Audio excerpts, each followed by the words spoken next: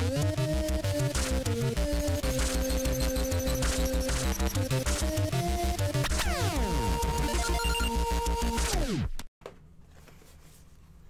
Oh, hi there. So, right now I'm actually packing up the office because I'm going to be moving into an apartment with my fiance here in just about a week. So, right now I'm just having to go through my entire collection and put stuff into boxes. And this is actually kind of fun for me since I have so many crazy awesome games that they sort of slip my mind sometimes. It's a great reminder of all these great gems that sometimes I'm just not sitting here playing nearly enough. What's up, gamers? Dreamcast Guy here, and today I wanted to talk about a classic classic Sega console that not nearly enough people actually get hyped about. Let's dig into the Genesis, also known as the Mega Drive, and really just get hyped about all the good stuff this library had on my picks of the top 10 best Sega Genesis games. Number 10 Shining Force 2 during the 80s and 90s, every single person was sort of talking about the console war, the idea that Nintendo and Sega were competing against each other to have the very best games and graphics, but Shining Force 2 was probably the first project I saw that seemed to have just impossibly good visuals. This is an RPG that is just staggering in its art and the basic way that battles just unfold. It's one of those games that's just kind of impressive to go back to even in the modern day because it is just so so freaking sharp and clear in its vision. It's one of those things that's probably aged the best from this era and certainly something you need to go back and give a shot to. Number 9 Earthworm Jim when it comes to licensed games, many of them are pretty paltry. They're essentially just churned out because of the title and nothing else, but Earthworm Jim is really the exception to that rule, because it's actually pretty marvelous. The thing here is the fact that it's actually like a 2D platformer, but one that really tries to just constantly give you lots of different layers of things to look at. It's very heavily rooted, of course, in the mythology of the TV show, but when you're trying to use your different powers and grapple hooking around, you can kind of just sit sit back and wonder what's coming next. I like a game that can constantly just be filled with so many surprises and so many goofy bosses and have such a great sense of humor while also being serious when it needs to be. Number 8 Gunstar Heroes there was this interesting phenomena that sort of popped up during this time period, which is the run and gun shooter. These are games that seem so simplistic on the surface because they just seemingly have one simple goal, which is to shoot everything, but are actually rather complex. They're something that feels very, very good as soon as you pick up the controller. Anything that's sort of in this genre is actually very, very addictive simply because there's a very interesting methodology hidden within it. It's not just about ducking and dodging dodging and diving, it's also a matter of trying to score that next big shot and basically pick up all the power-ups you need to try and survive the next boss. It's not exactly freaking complicated, it's not exactly something that's going to be the Dark Souls of 2D shooters, but it's still super marvelous. And Gunstar Heroes manages to surpass a lot of its rivals uh, just by having pure talent in it. I mean, seriously, if you ever get a chance to try this, absolutely do it, because you won't regret it. Number 7 Battletoads this game is obviously very, very famous for being nearly impossible to beat. It loves to throw so much into your path, from really tough enemies to waves of freaking bad guys to even stuff like, of course, the Turbo Tunnel, a mission that basically is made to only soak up your lives. But despite this, Battletoads at the center of it is actually a very, very good beat 'em up. And what's funny is that the Genesis version is actually the easiest version of it. Every single enemy manages to hits a little bit softer and you get a lot more lives. So even though it's not going to be as challenging as the other versions of Battletoads, I actually like this one the most. It seems like the one that seems the most true to life of what I would want a game like this to be. And of course, since it's co-op, it's really nice to just grab a buddy, become Toads, and do some battles. Number 6. Phantasy Star 4 When it comes to ultra hardcore role playing games, I feel like inspiration is a huge part of it. What is it that really pushed the developers to start working on the project in the first place? Were they moved by things like Lord of the Rings and want to make things that have elves and magic? Or are they actually inspired by anime?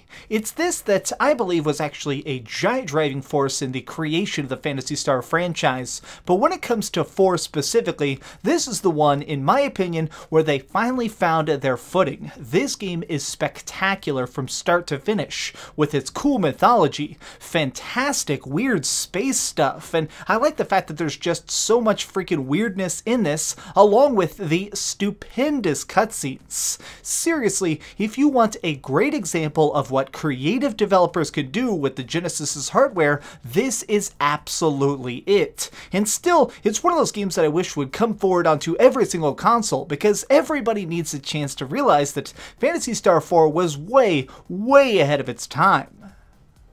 Number 5 Altered Beasts. In my mind's eye, this game will always be one of the most iconic Sega classics. I mean, so much about this is so much built into memes and meme culture. Things like Rise from Your Grave and the evil laughter of a bad guy just randomly running away instead of being stopped and going, ha ha ha ha ha. This game is great. Now, obviously, it's very, very simplistic and basic, but that's sort of what's the charm about it. You can beat this game in like an hour, but even still, you'll find yourself going back through through it again and again. Each of the different levels, you get a chance to become a different altered beast. A dragon, a bear, a weird creature that can just shoot punch lasers for no reason. And that's kind of what's the best part about this. Altered Beasts is not trying to be Mozart. It's not trying to be a high classy art piece. It's just trying to be itself. And in that way, I actually love and respect it for that. Number 4. Streets of Rage 2. On a dark and dusty night, a man sets out with a single vision in his mind revenge, to try and defeat anybody who sets into his path until the city is a better place. This is actually the story of Streets of Rage 2, and you probably didn't even know that, because nobody even cares. Streets of Rage 2 is so freaking popular simply because it is seriously the greatest beat 'em up ever. I mean, look at it. It's you walking along and just pounding everybody in the face. You could pick up knives and beer bottles, and you're going to be fighting robots and trying to climb into different towers and trying to take on millionaire kung fu artists. Nothing about this game makes sense, and that is why it is such a gem. It's one of those games that you can play alone or co-op or no matter what because you're going to have a freaking blast. Now this has obviously been included in every single Sega collection that's been on basically every console and I'm glad they've done that because seriously, Streets of Rage 2 is hilarious in all the right ways and something you absolutely need to beat before you die. Number 3. Zombies Ate My Neighbors.